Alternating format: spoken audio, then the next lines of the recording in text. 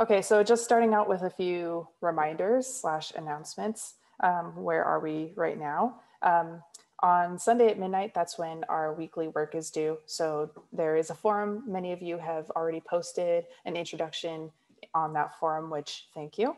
Um, homework one is posted and available right now. Uh, the quiz should be a pretty straightforward, easy um, quiz. It's just to make sure that you've actually read the syllabus and kind of know what is going on in class. And then the week one reflection is just me asking you a few more questions to get to know you.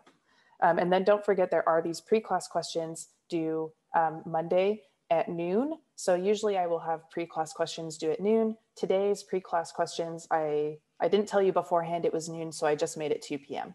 Um, but in the future, they're going to be due at noon because sometimes like with today's um, pre-class, I'll need to do something with the uh, data. And so it, it's better for me if I can do that ahead of class. All right, so um, looking forward today, we're gonna finish talking about different types of galaxies. And then in week two, we're gonna talk about how we actually calculate the distances to those galaxies and what ga galactic distance scales and size scales are like. Um, during week two, you'll have your first project. And then quiz two will cover weeks one plus two. So all of the quizzes will cover the previous two weeks of class so that you'll have a full week to finish kind of digesting new information before you're quizzed on it. All right, so any questions about where we are at or where we are going?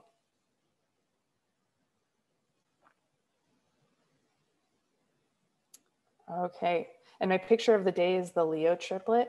Um, some of you from 122, if Leo was your constellation, you might recognize the Leo triplet.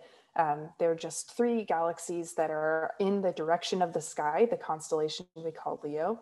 Um, and uh, this is taken by an amateur astronomer, and it was the NASA picture of the day a few days ago. So if you're not familiar with NASA APOD um, astronomy picture of the day, check it out. There's cool stuff all the time. And also they have an Instagram. All right, so I'm gonna share with you different resources of the week every week. Um, I'm gonna compile them into a single slideshow. So if you wanna find them there, then you can. Um, so this week I'm highlighting two things since I didn't do one on the first day of class. Um, and I think both of these are really helpful to know about right now. So first of all, the um, Counseling Center is putting on this workshop series called Creating the Life You Want. Um, you can find a link to the flyer on my slides. You can find their full schedule on their website. Um, and some of the topics they'll talk about are creating a schedule that works for you, um, emotional intelligence, growth mindset, which I think is a pretty sweet topic, um, and then lots of other things, um, setting goals, mindfulness, um, relieving stress. So all kinds of good stuff um, during the month of April and early May. So again, you can uh, register for these using the links on this slide or their schedule is online. Counseling has a lot of other stuff, by the way, but this workshop series I think is pretty interesting. They're very topical, just one hour workshops where you can uh, learn more about something that can help you as a student. Okay, the other resource I wanna highlight is the STEM Transfer Pathways Club. So this is a new club that is for uh, students who are interested in transferring to study STEM, so any science, technology, engineering, or math discipline.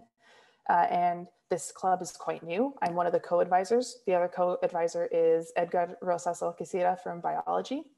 Um, and in the club, basically you can meet other STEM students, learn about STEM careers. We regularly invite STEM professionals, both locally and from around the country to give talks about how they got into their jobs and what their work experience is like on a day-to-day -day basis.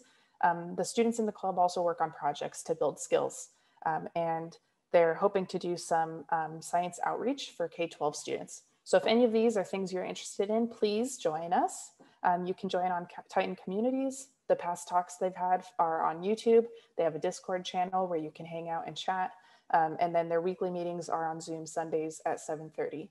So the last, the first one of the term was this last Sunday, but the second one will be this coming Sunday. So anyway, if you are interested, please do join. Um, it's a small but mighty group so far, and we would love to have more members.